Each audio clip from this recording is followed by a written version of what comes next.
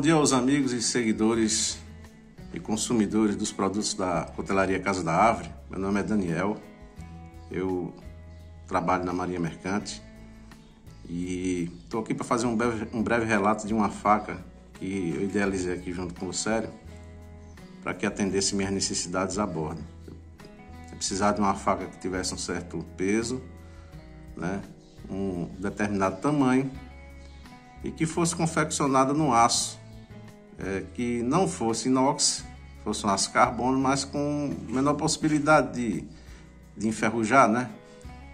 Então, depois de algum tempo que a gente idealizou essa faca, ela chegou, tá certo? A faca é essa. A faca muito bem executada, em aço 5200. É, o cabo muito bem feito. Ele teve aqui o cuidado de colocar um pino mosaico, muito bem executado também. Um quebra-crânio. Né?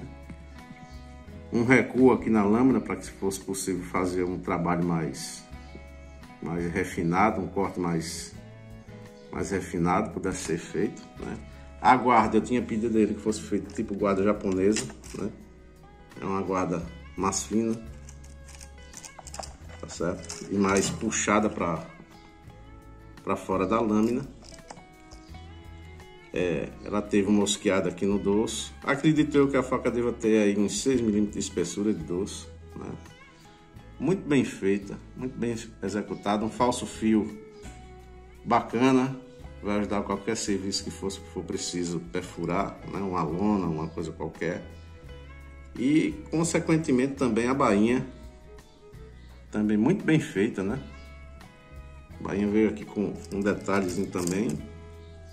Me desculpa aí o vídeo que eu sou, né? Ele teve o cuidado de colocar esse, esse botão aqui com o símbolo de marinha. E eu tô muito feliz com a, com a faca, tá certo? Vai ser de, de grande utilidade para mim. Parabéns, sério. Mais uma vez, uma, uma excelente peça confeccionada por você e que vai me ser muito útil no meu serviço.